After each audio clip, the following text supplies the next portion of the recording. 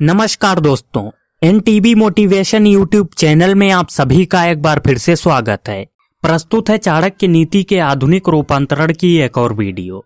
चाणक्य नीति को पूरी तरह और अच्छे से समझने के लिए वीडियो को अंत तक ज़रूर देखें, क्योंकि अधूरा ज्ञान हमेशा घातक होता है।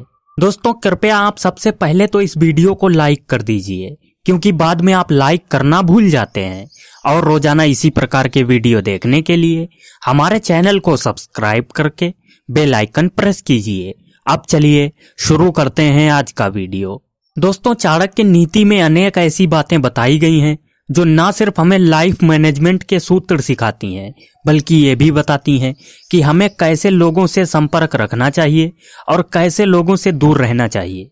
दोस्तों, चाणक्य नीति एक ऐसा ग्रंथ है जो हमें जीवन से जुड़ी अनेक गुप्त बातों से अवगत करवाता है। ये बातें हमारे लिए जानना बहुत ही ज़रूरी है। दोस्तों, वर्तमान समय में देखा जाए तो पत्नी, मित्र और नौकर हमारे परम सहयोगी होते हैं तथा स्वयं का घर होने पर हम शांति का अनुभव करते हैं। चाणक्य नीति में इन सभी के बारे में बताया गया है कि मनमानी करने वाली पत्नी दुष्ट मित्र, वाद विवाद करने वाला नौकर, तथा जिस घर में सांप रहता हो, वहाँ निवास करना साक्षात मृत्यु के समान है। तो चलिए दोस्तों, आज के इस वीडियो में हम आपको ये बताएँगे कि ये सभी लोग हमारे लिए किस प्रकार से घातक साबित हो सकते हैं। चाणक्य जी बताते हैं, मनमानी करने वाली पत्नी। दोस्तों, हिंदू धर्म में पत्नी को बहुत ही सम्माननीय माना गया है। पत्नी के साथ दुर्व्यवहार करने के बारे में सोचना भी गलत है। पत्नी को अर्धांगिणी भी कहा गया है, जिसका अर्थ होता है शरीर का आधा भाग। लेकिन यदि पत्नी का स्वभाव मनमानी करने वाला है तो वो किसी के रूप में आपका नुकसान कर सकती है। दोस्तों, मनमानी से अर्थ यह है कि ऐसी पत्नी जो अपने पति की इच्छा के विरुद्ध कार्य करती है तथा अन्य पुरुषों में आसक्ति रखती है, ऐसी पत्नी अपने निजी स्वार्थ के लिए किसी भी हद तक जा सकती है। इसलिए कहा गया है कि मनमानी करने वाली पत्नी के साथ रहना साक्षात मृत्यु के समान है। आगे आचार्य चाणक्य बताते हैं, दुष्ट मित्र।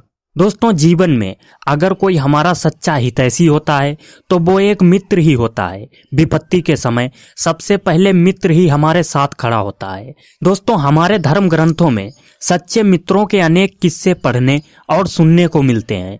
जब किसी दुविधा में हम फंस जाते हैं तो मित्र ही हमें सही रास्ता दिखाते हैं।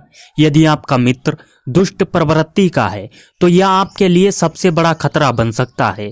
दोस्तों, दुष्ट मित्र अपना हित साधने के लिए आपको गलत सलाह दे सकता है, या फिर आपको शारीरिक रूप से नुकसान भी पहुँचा सकता है। एक गलत सलाह और शारीरिक नुकसान दोनों ही रूप में दुष्ट मित्र साक्षात मृत्यु के समान है। इसलिए ऐसे मित्रों से हमेशा बचकर रहना चाहिए। आचार्य चाणक्य आगे बताते हैं वाद विवाद करने वाला नौकर। दोस्तों, घरों में दास यानी नौकर रखने का प्रचलन काफ़ी पुराना है। वर्तमान में संभ्रांत परिवारों में ज़रूरत के मुताबिक नौकर रखे जाते हैं। नौकर न सिर्फ़ अपने मालिक की जरूरतों का ध्यान रखते हैं, बल्कि वो घर के गुप्त भेद भी जानते हैं। लेकिन यदि नौकर वाद विवाद करने वाला हो तो उसे तुरंत निकाल देना ही बेहतर होता है। दोस्तों, वाद विवाद करने वाला नौकर किसी भी समय आपके लिए कोई बड़ी मुसीबत बन सकता है। यदि ऐसा नौकर आपका कोई गुप्त भेद जानता है तो वाद विवाद होने पर वो कभी भी आपका भेद खोल सकता है। दोस्तों, वाद विवाद बढ़ जाने पर वो आपको शारीरिक चोट भी पहुँचा सकता है। इसलिए वाद विवाद करने वाले नौकर को साथ में रखना साक्षात मृत्यु के समान है। चाणक्य जी आगे बताते हैं, घर में रहने वाला सांप। दोस्तों, आप जिस घर में रहते हैं, यदि वहाँ सांप का निवास है तो आपकी जान हमेशा खतरे में रहती है। दोस्तों, वैसे तो सांप बिना वजह किसी पर हमला नहीं करता। लेकिन गलती से यदि आपका पैर उस पर पड़ जाए तो सांप आपको बिना काटे नहीं छोड़ेगा। इसलिए कहते हैं, जिस घर में सांप का निवास हो, उसे तुरंत छोड़ देना ही बेहतर होता है, क्योंकि लापरवाही बरतने पर आपकी जान भी जा सकती है। इसी बात को ध्यान में रखते हुए आचार्य चाणक्य ने चाणक्य नीति में कहा है कि सर्पयुक्त घर में निवास करना साक्षात मृत्यु के समान होता है। दोस्तों, आज का वीडियो बस यहीं तक। उम्मीद करता हूँ आपको वीडियो पसंद आया होगा। वीडियो पसंद आया है तो वीडियो को लाइक कर दीजिए और रोज़ाना इसी प्रकार के वीडियो देखने के लिए हमारे चैनल को सब्सक्राइब करके बेल आइकन प्रेस कीजिए।